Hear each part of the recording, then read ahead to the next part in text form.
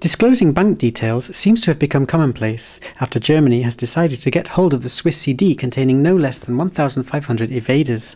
State Chancery of Bavaria could acquire the data of Germans who have hidden their wealth in banks in Luxembourg. 1,000 German customers are concerned. The Majorcan adventure was cut short for Luxembourg cyclist Andy Schleck. Having come second in the Tour de France for 2009, he abandoned his Volta de Mallorca suffering from tendon problems in his right knee. Frank Schleck will continue without his younger brother. Andy, who was preparing to make his return to Mallorca Challenge, returned yesterday evening to Luxembourg. It won't be until the 21st of February in Ruta del Sol that we will see Andy Schleck cycle again.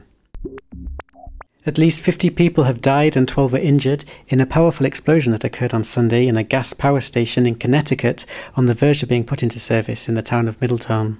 It is unclear as to how many people were actually working on the site at the time when the explosion occurred, however, the number of people killed is likely to be higher than 50.